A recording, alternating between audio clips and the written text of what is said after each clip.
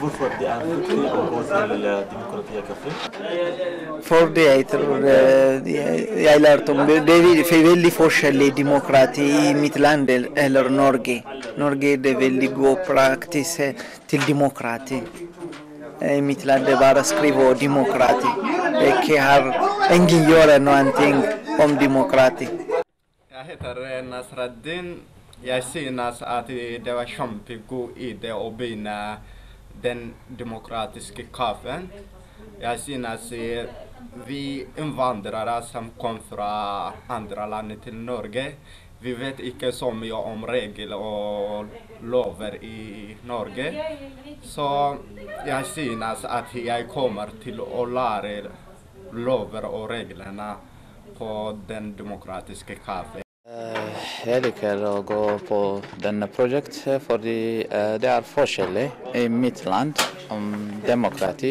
Det er så forskjellig.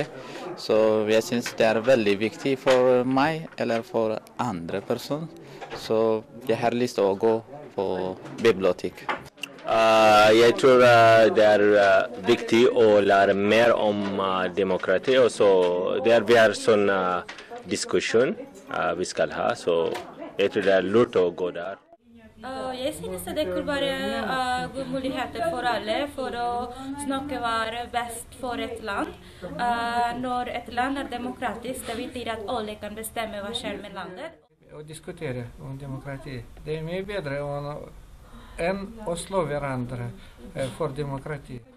unik sjanse for eh, eh, å lære veldig mye om det norske samfunnet. Og diskutere demokrati som styresett og system.